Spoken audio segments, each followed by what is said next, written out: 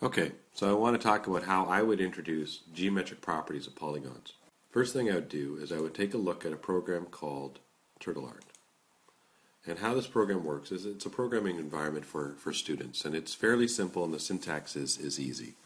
And the idea is that I would sort of show students just a couple of things to get them started. In particular, I would show them the forward and the right and the repeat. I would give the students a chance to play with it, to sort of figure out what they can do with it, I think that's an important aspect of learning how to use any software program.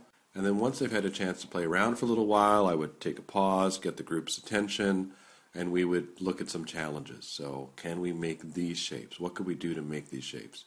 And I would leave it up there, sort of in the TurtleArt environment, so they can see that it's possible to do. And then uh, while they're working on the challenges, I would circulate around the room and sort of check in with individual students, with individual groups, and see what, how they're doing. And if a student is finding this fairly easy, then I give them some more challenges to think about. And if they're finding this too difficult, then I try to scaffold it, perhaps by giving them more support or by introducing them to their colleague beside them who's working on it, you know, uh, reasonably well.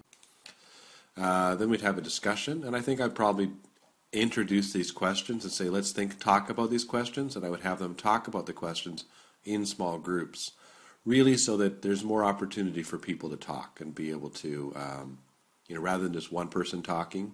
And then, uh, so they're talking and they're sharing in group. Then I would give them a chance to go and do some more challenges, um, to do some more exploration. Uh, if they've gotten to where they want, they can play with it some more.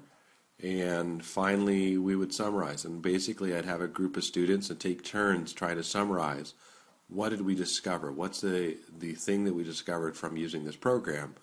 And how can we generalize this to uh, other polygons?